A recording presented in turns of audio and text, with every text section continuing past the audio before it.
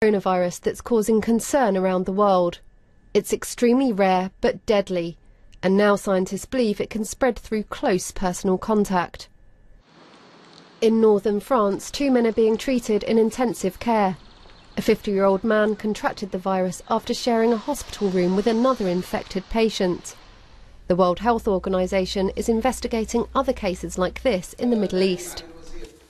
Of most concern, however, is the fact that the different clusters seen in multiple countries increasingly support the hypothesis that when there is close contact, this novel coronavirus can transmit from person to person.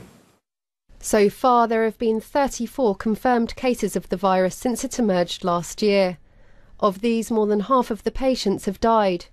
Most of the infections have occurred in Saudi Arabia and in a number of nearby countries, but the virus has since moved further afield into Europe. It causes a high fever, breathing difficulties, and can eventually lead to organ failure.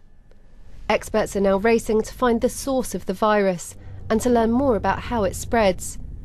In its current form, it's not contagious enough to start a pandemic, but with its high fatality rate, it's a threat that health officials are taking seriously. Rebecca Morelle, BBC News.